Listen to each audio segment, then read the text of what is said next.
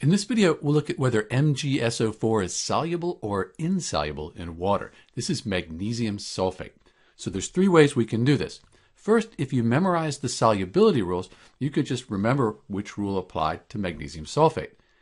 We go down, we see that most sulfates are soluble. There are a few exceptions, but Mg, that's not one of our exceptions. So based on our solubility rules, MgSO4 should be soluble in water.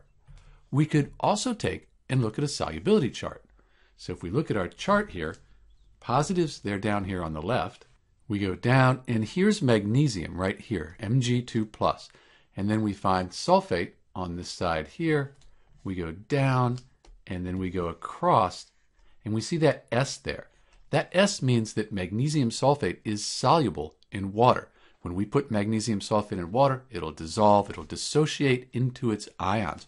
We'll have Mg2 plus ions, this is the magnesium ion, and then we'll have the SO4 2 minus, the sulfate ions.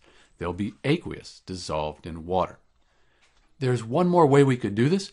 We could just get some MgSO4, put it in water, and see what happens. Based on the rules in the solubility chart, we would expect that it would be soluble in water. This is Dr. B answering the question whether MgSO4 is soluble or insoluble in water.